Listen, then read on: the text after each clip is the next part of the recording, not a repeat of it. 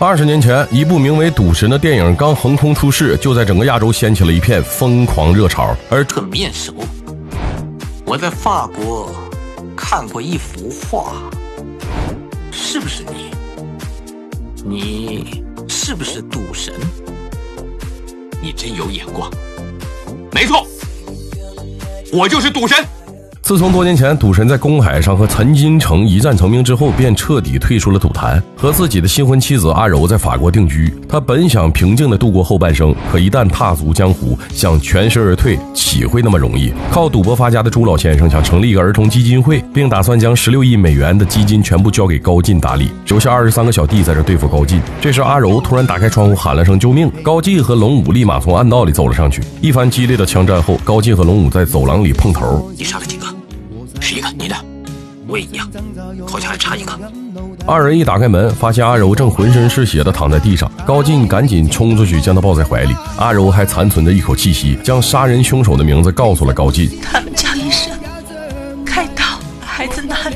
高进看着玻璃瓶里装着的胎儿，恨不得将裘孝师千刀万剐。可阿柔不想让他为自己报仇，还让他一年之内不准承认自己是赌神，更不能跟任何人赌博。阿柔就是想让高进不要再陷入江湖的纷争中。不过呢，如果过了一年还是放不下仇恨，那你就可以去报仇。高进答应了阿柔最后的请求。随后，高进故意放了那个小弟，为阿柔举办葬礼之后，高进就回到国内四处旅游，希望以此来了却自己心里的仇恨。可杀子杀妻之仇哪会那么容易消除？时间越久，心中的仇恨就越深。这天，高进搁海边拍照时，一个女孩闯进他的镜头里。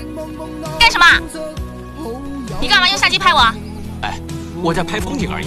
海棠非要将他的相机抢过来看一看。就在俩人即将产生争执之际，海棠的父亲海岸走了过来。他身为东湖帮的老 boss，一点架子都没有，还请高进帮他拍了一张全家福。高进也是很爽快的同意了。哎，兄弟啊，你这个样子看起来就像个香港人哦。你的样子有点像台湾人。哦哦。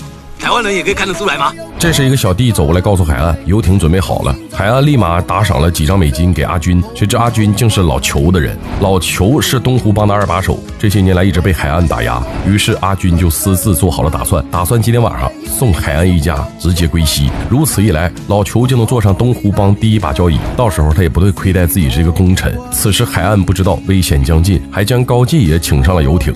我跟你说哈，以后你到台南来啊。一定要打我，嗯哈，你到了台南找东湖帮，东湖帮的老大海岸呐，就是我，没有人不知道的啦。听到东湖帮时，高进明显愣了一下，但想想老裘的所作所为也不关海岸的事，于是假装就没有听过东湖帮。此时阿军已经带人潜伏在水里，一上船就用鱼枪打了海岸。高进和其中一个小老弟儿打斗时不小心掉进海里，随后另一个小弟儿用鱼枪打中了他。那小弟儿本想游过来补一刀，高此时局长带人搜到这里，好在旅馆有一条密道，几人从密道撩人了。谁知走到一半，瑶瑶却不小心踩到了捕兽夹。为了节省时间，高进决定背着他走，鸡哥则折返回去引开警察，不料却被一张。大网网住了，其他四个人则逃到一片芦苇丛中。趴在高进的背上时，瑶瑶无意间发现他背影很像赌神，便一瞬间陶醉在他的背上。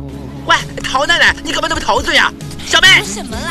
随后几个人逃进了一个村子里，警察已经追了上来。谁知瑶瑶的照片掉了，他说什么都要回去捡。高进只好背着她折返回去。还好警察没看到他们，小喇叭却差点被追上。好在使用一招壁虎神功躲过了追击。这时楼上有人压着海远露了个面。随后老裘疯狂的嗤笑的走了过来。看到这个杀妻仇人瞬间，高进恨得牙关都咬紧了。但他知道现在还不是报仇的时候。小喇叭发现高进有点不对劲儿，你干嘛那么激动啊？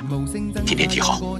今天十月二十号啊，还有两天。高进答应妻子一年之期还有两天。老裘不要脸的让海棠跟了自己，这样一来，他们在台湾可以说是无敌的。可海棠却只想让他放了自己的弟弟。我这赌场有个规矩，你跟我赌三场。只要能赢两场，就听你的。海棠同意和他赌，第一局赌的是经典的二十一点，海棠拿到二十一点，成功赢第一轮。第二轮赌轮盘，海棠脱掉自己的外套，露出火辣身材，看那小喇叭哐哐喷鼻血。此刻小喇叭觉得自己爱上海棠了，谁能投出自己报出的点数就算赢。谁知海棠投出钢珠时被老裘暗算了，虽然老裘这么做不光彩，但这一轮还是老裘赢。现在一胜一负，第三局赌什么？哎哎哎，弹珠弹来弹去算什么赌数吧？这局我们赌些基本的东西，一人抽一张，你的。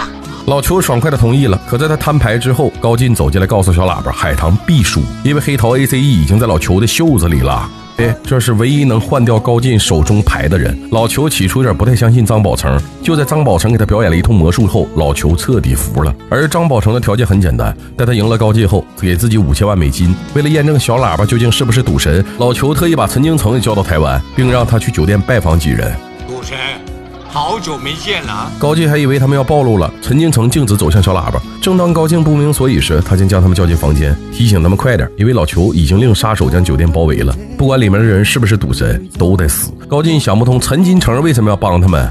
高进，我对不起你。高进，你是赌神？随后，陈金城脱掉自己外套，高进一看，整个人都震惊了。原来老裘是个疯子，他不断的和陈金城赌。陈金城输光了家产之后，他砍了其双手。曾经一代赌魔变成这样一个废人。这时突然传来两声枪响，原来杀手在陈金城衣服里装了窃听器。当听到金城将老裘的所作所为抖出来后，便将他暗杀了。随后杀手冲了进来，除高进之外，其他人吓得到处逃窜。局长更是机灵的伪装成铜像，不要压住我！哎呀！高进则和杀手们展开了一场激烈的枪战。好在关键时刻，龙武及时赶到救了他们。很快，杀手就被高进和龙武联手消灭了。可瑶瑶不幸中了一枪。得知高进就是赌神本人后，瑶瑶安详地看着他背影死了。高进说不清自己对瑶瑶什么感情，但似乎他心动过的女孩都没什么好下场。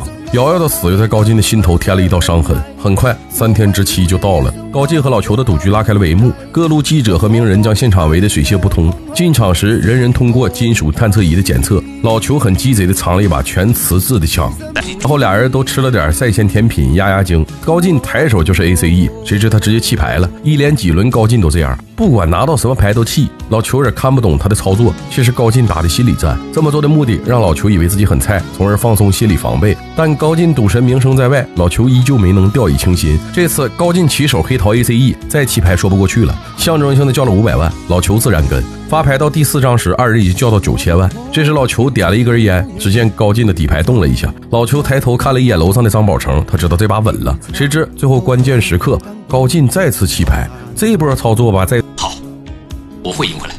下一局开始时，他怕高进输不起，叫了一万。他的都是大牌，高进都是小牌。小喇叭以为没得玩了，谁知这一轮高进却一直在跟。看都是高进不占优势，可俩人把赌注叫到两个亿。老裘发了一张红心十，高进发了一张红心五，二人都有可能是同花顺。最后看谁能拿到红心 A C E。你没钱了，开牌吧。等一下，五哥，麻烦你把文件拿过来。高进居然赌上自己所有的财产，包括几栋房子，总价值十五亿美金。为了确保他手里的文件真值十五亿，两个人决定暂时封牌，请专家出来估价。老裘呢，趁机将两枚子弹放口袋里，点了一根烟。张宝成在楼上做着手脚，高进的底牌随之动了一下。老裘知道这把妥了，谁知高进坐下来又加码了。还有，坐在台下的局长担心不已，他觉得高进废了，于是就为其规划好了未来的职业。搞不好以后赌神要去干按摩的了。我是帮他想以后的出路。这时，老邱翻开自己的底牌，一张红心九。高进只有一个机会能赢他，就是拿到一张红心 A C E。只见高进的表情凝重，翻出自己底牌。与此同时，老裘搁桌底下将子弹偷偷上好。在众人期待的目光中，高进翻出了一张红心 A C E。老裘露出不可置信的表情。张宝成居然没有把他底牌换掉？你以为在上面的张宝成帮你换了我的牌？原来张宝成和高进是好友。一年，高进终于为了自己的老婆孩子报了仇。该王八犊子！